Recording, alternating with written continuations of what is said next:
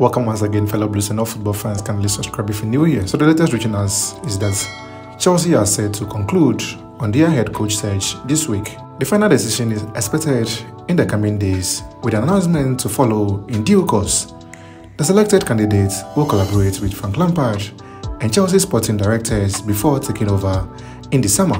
Mauricio Pochettino is still expected to be named Chelsea manager, and it's just a matter of time. Additionally, Pochettino has asked for cameras around the first team training grounds, inside and outside the building, so he can observe players' attitudes. Frank Lampard will stay in his post for Chelsea's last four Premier League fixtures as Mauricio Pochettino is ready to take the full-time role a year on from his PSG exit. Chelsea forward Pierre-Emerick Aubameyang has begun negotiations to terminate his contract with Chelsea by renouncing the remaining two years of his deal. But Chelsea for now do not intend to let him go for free after signing him for 12 million euros less than a year ago.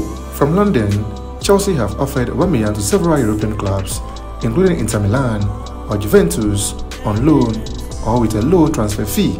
According to reports from Spain, Chelsea are leading Newcastle in the race to sign Raphinha from Barcelona and are ready to open formal negotiations immediately to sign him.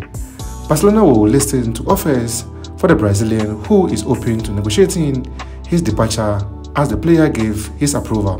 Finally, Chelsea's Andrey Santos has married his girlfriend Wingrid Freire in Rio, Brazil. The 19-year-old is currently on loan at Vasco da Gama and is expected to join the Blues next summer. Fellow Blues, the latest us from the Blues camp, kindly subscribe, like and be here for more updates.